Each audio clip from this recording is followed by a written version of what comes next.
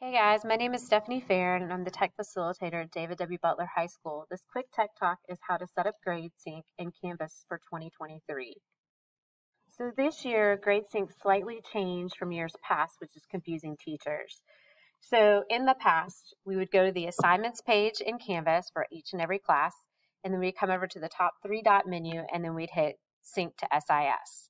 However, this year it has changed a little bit. Instead of syncing to SIS and it importing the categories for PowerSchool, we're going to now have to match the grade category groups to syncing to SIS to make it match. So I'm going to show you how to do that.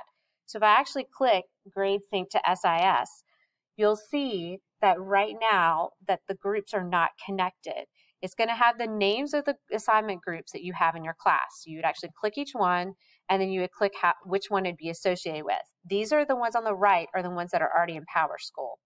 Okay, so the first thing you want to do is either click the assignment group to change the name to it, click edit, to change it from assignments or imported categories or whatever to the five categories, prepare, perform, rehearse, perform, midterm, and final. Okay, and then sync them together. Or you can add a group if you don't have enough and change it to each of these. Okay?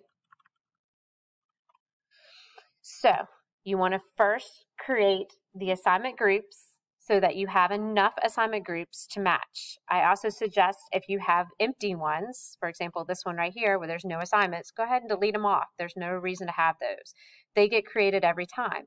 If you're importing assignments from a previous course in PowerSchool, then they'll probably come across already as prepare, rehearse, and perform from last year. So then you just need to sync them together. Once you have them synced together, then you'll click the three dot menu and click sync to SIS categories.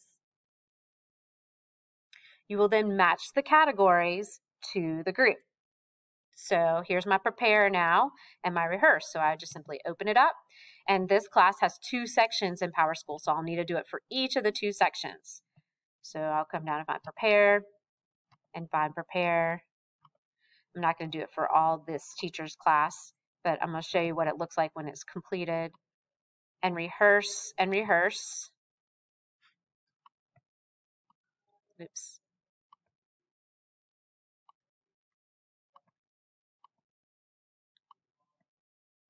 Okay? Um, and then when you close these up and you hit sync categories and look again, what you're going to see in grade sync, so we'll open it one more time, is you're going to see that now they're green and they say they're synced together. Now you can do the grade pass back and you can drop assignments into these categories. So see these two are synchronized and these two are not still. So we need to finish that for them. If you have a class that you've already started and you've made the goof, okay, so for example, this class, this teacher has it where they have just assignments. So if I come into, if I know that these assignments are perform grades, then all I need to do is go back into GradeSync SIS, come down, find my assignment categories, and change them to the correct groups. It also helps if when we go back and rename them too.